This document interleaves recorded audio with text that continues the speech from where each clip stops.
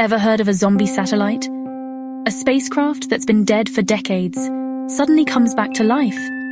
This is Relay 2, a satellite launched in the 1960s. It's been floating in space, silent and inoperable for over 60 years. But recently, a team of researchers using a powerful radio telescope in Australia detected something incredible. A super short, super powerful radio pulse coming from it. This was not just a flicker. It was an energetic burst of radio waves that lasted only a nanosecond. The leading theories? A tiny speck of space dust hitting it, or a static electricity discharge from the sun. This zombie signal is changing how we think about space junk and could help us avoid false alarms when hunting for signals from distant galaxies.